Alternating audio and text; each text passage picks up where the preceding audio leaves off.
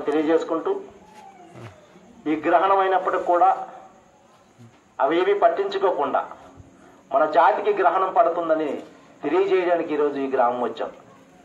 జాతి గ్రహణం పట్టిందా ఏంటి? పట్టిన తర్వాత ఇప్పుడు చంద్రగ్రహణం ఎలా పడుతుందో జాతికి కూడా అడగ వదిలేద్దు కదా అనుకుని నిమిషాలు. గ్రహణము చంద్రుడు పడితే వదిలేస్తుంది తప్ప మన జాతి గ్రహణం పడితే వదిలే గ్రహణం కాదు అది. ఏదైతే రాష్ట్ర ప్రభుత్వం తీసుకొచ్చినటువంటి జియో నెంబర్ యాభై రెండు ఉందో బోయలు వాల్మీకుల్ని అలాగే ఈ శ్రీకాకుళం జిల్లాలో ఉన్నటువంటి వడ్డీ కొరస్తుల్ని మన ఎస్టీ జాబితాలో చేరుస్తామని ప్రకటన చేశారు. ఎస్టీ జాబితాలో చేరిస్తే మనం అంతా కూడా ఊరుకుంటామా? వాళ్ళు కలిస్తే మనం కూడా ఆమోదిస్తామా అనేది మీరే చెప్పాలా? ఏమమ్మా మన ఎస్టీ జాబితాలో అందరు కలిస్తే మనం ఊరుకుంటామా? వ్యతిరేకిస్తామా?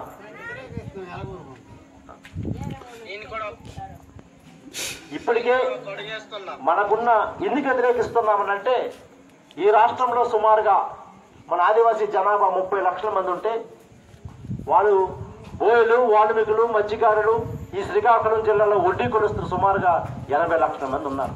వీటిను రద్దు చేయాలని చెప్పేసి అన్ని గ్రామాలకు పర్యటించి విషయానికి అవగాహన కల్పిస్తూ మనకైతే ఈ విధంగా ఎనభై లక్షలు అంటే ఈ జీవో నెంబర్ రద్దు చేయాలనుకోండి ఈ నెల పదో తారీఖున చలో నర్సంపేట కార్యక్రమం పెట్టుకున్నాం.